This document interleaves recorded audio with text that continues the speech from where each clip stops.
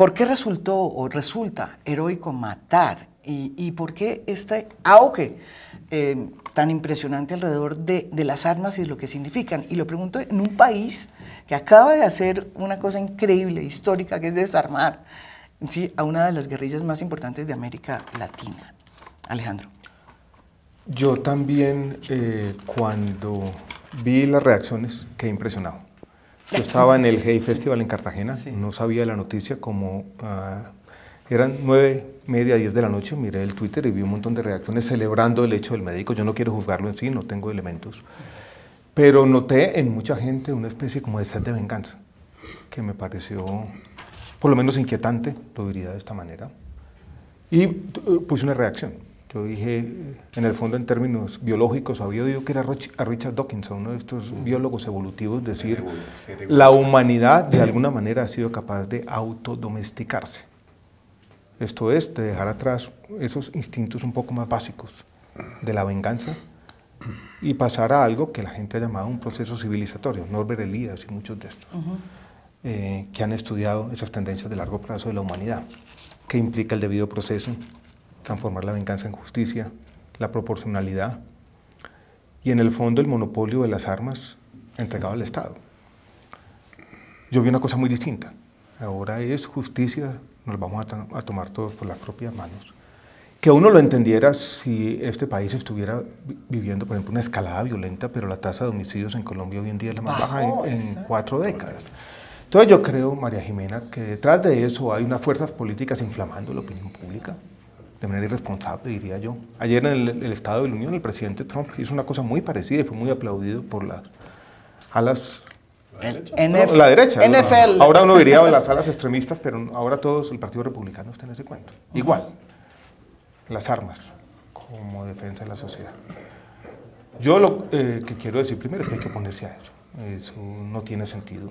Eso no conduce a nada bueno y yo creo que tenemos entre todos que seguir diciendo no es heroico matar, todo lo contrario. Lo que es heroico tal vez es la convivencia pacífica. Eso sí, el Estado tiene que ser capaz de combatir la criminalidad. No lo hace exitosamente siempre, pero la celebración yo no sé si es un fenómeno de redes sociales, es un fenómeno que trasciende las redes sociales, pero lo que yo vi en redes sociales me dejó preocupado. Sí, y sobre todo lo que usted dice, Alejandro, hay una em, percepción errada, eh, porque lo, que dijo, por ejemplo, Cristian Garcés, que es la, persona que, pues, el político del Centro Democrático, que es un representante de la Cámara muy bueno, por lo demás, eh, con el que está alentando este nuevo proyecto de ley que ya había sido de alguna manera eh, pues abandonado, es que hay un em, aumento de la inseguridad y, que, y, que la, y que la sociedad está eh, realmente a merced eh, de, los, de, los criminales. Es lo mismo que decía Donald Trump ayer. Eso me parece. Inmigrantes y este tema está creando también la xenofobia con la migración venezolana.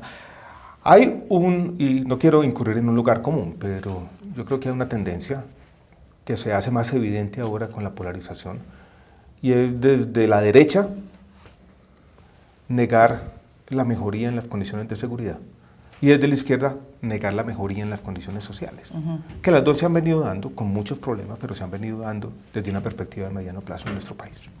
Brigitte. Es penoso matar, indudablemente, como pues en este instante particular no es heroico en absoluto, porque se interpreta como una solución.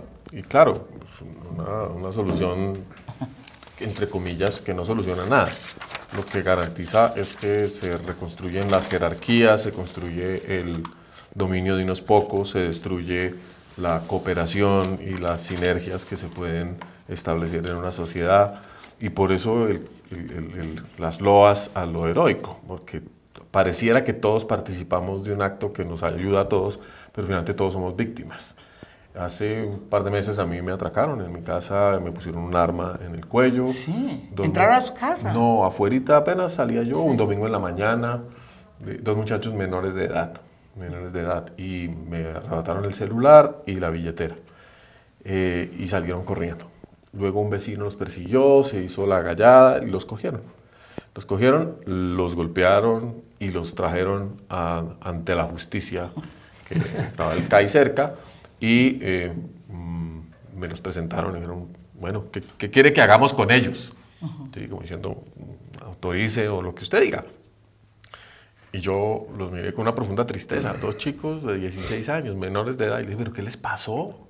¿Cómo se les ocurre ponerme un arma en el cuello para robarme? ¿Qué, estaban esperando? ¿Me hubieran matado?